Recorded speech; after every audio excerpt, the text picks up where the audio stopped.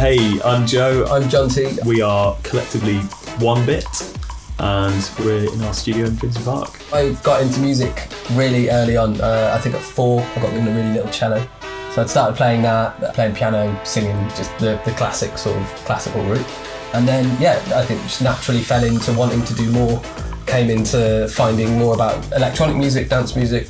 Ended up meeting Joe at LIPA up in Liverpool, um, which really sort of just opened her eyes, well, my eyes to what I could do with it. I always previously thought I'd be a music teacher, but then that was the idea of being able to create music, record music, produce music. We work across quite a broad range of things. Like our arts project is more electronic dance music focused, but then we do a lot of producing and songwriting for other people where it might be more acoustic or soul sort of stuff. And then we also do TV music where the briefs can be crazy, like all over the place genre wise. I guess like a lot of creation is making mistakes and so many times like the mistakes that you make actually end up staying in and it's all about happy accidents and I don't know someone can just like hit a note on a piano and you're like whoa I wasn't expecting that that's actually really cool with what just happened or yeah there's, there's so many times where mistakes are brilliant we've got two two rooms here we've got the, this main room and then we've got another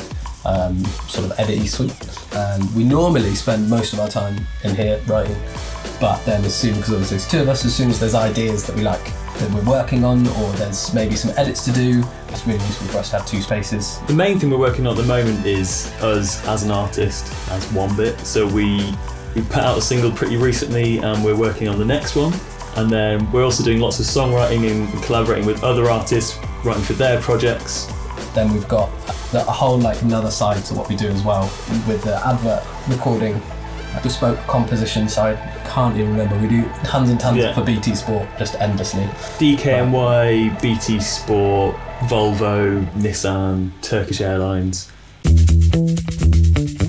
Most of the problems with studio monitoring are to do with the room acoustics being really poor.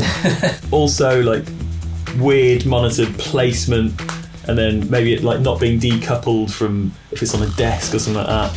When it starts playing bass and the whole desk starts vibrating in there, you really have no idea what, what's going on in the low end. I remember like hearing Adams on a shootout with a bunch of other speakers. I think it was only like the A7s, and then there's a studio in Manchester called Blueprint Studios, where they've got uh, like the older versions of, of these set up. And yeah, I just remember being being blown away. They had like big Genelec main monitors in the walls, and they never use them. They just use, use them.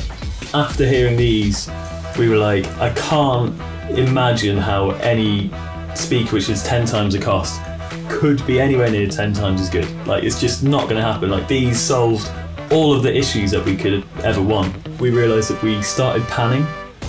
Before that, things were kind of like either in the middle or left or right. And I think our st- stereo field just completely opened up. We're like, whoa, if I pan something like five to the right. It's like it's moved a huge amount here, and I can really hear the difference between something which is just panned to the right and something which is in the middle. And then you start placing things in this 3D space that you, you never would have done before getting these speakers. It's, I mean, whatever they've done, it works.